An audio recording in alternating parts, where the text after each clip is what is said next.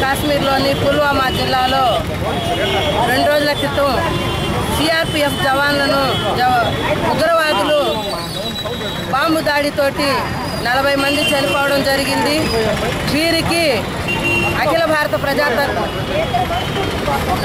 వీరికి అఖిల భారత ప్రజాతంత్ర మహిళా సంఘం నెల్లూరు నగర కమిటీ తరఫున ఘనమైన నివాళులు అర్పిస్తూ వారి యొక్క కుటుంబ సభ్యులకు ప్రగా సానుభూతిని తెలియజేస్తూ ఈ యొక్క ఉగ్రవాదాన్ని మట్టు మాపే వరకు కూడా మహిళా సంఘం పోరాటం చేస్తుందని ఈ విధంగా బాంబులతోటి దాడి చేసి వీర జవాన్లను మృతి చెందడం అనేది ఇది మేమందరం కూడా ఖండిస్తున్నాము.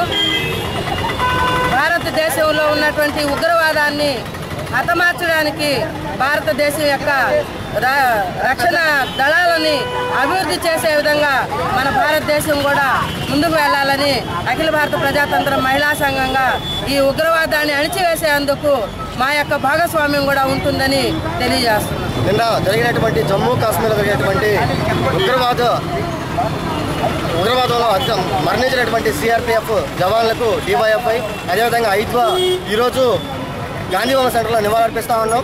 ఏదైతే దేశంలో ఉగ్రవాదాన్ని తరిమికొడతామని చెప్పి అధికారంలోకి వచ్చినటువంటి బీజేపీ ప్రభుత్వం దాన్ని మరిచి ఈరోజు ఉగ్రవాదాన్ని పెంచిపోయిస్తూ ఉంది. అదేవిధంగా మతోన్మతాన్ని కూడా పెంచిపోయిస్తూ ఉంది.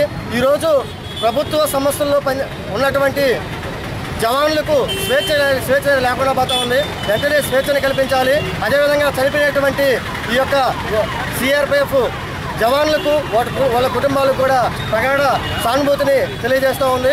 అదేవిధంగా రాష్ట్రంలో ఉన్నటువంటి మతోన్మతాన్ని ఉగ్రవాదాన్ని తరిమి కొట్టేంత వరకు డివైఎఫ్ఐ మహిళా సంఘంగా మేము ఎన్నుంటి ఉంటామని చెప్పి ఈ సందర్భంగా తెలియజేస్తా ఉన్నాం.